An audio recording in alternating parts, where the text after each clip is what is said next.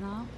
We are at the regions of hotels and you see there are lots of olive oils on the pavements. Very nice indeed. I've never seen such olive oils in Turkey. Türkiye'de bile böylesi yok.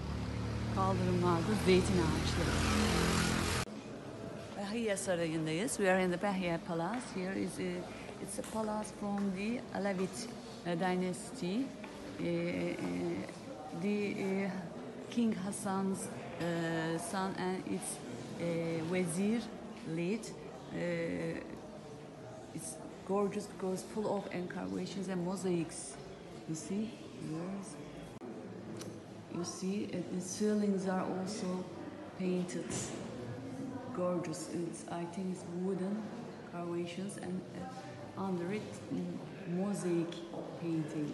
Mosaic stones okay here again we are in the uh, bahia palace of the last dynasty in morocco alawites uh, king Hassan built this nice palace and here is garden you see lots of trees and birds are singing. You see the orange trees and relaxing.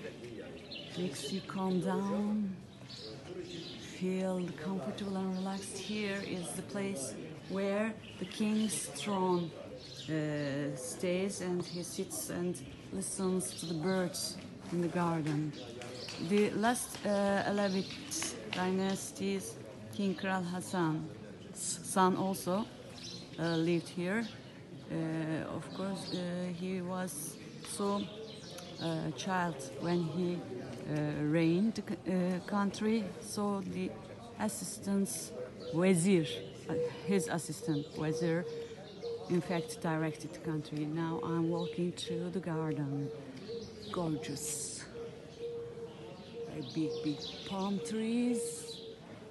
Very this side of the garden, uh, the glasses are colored.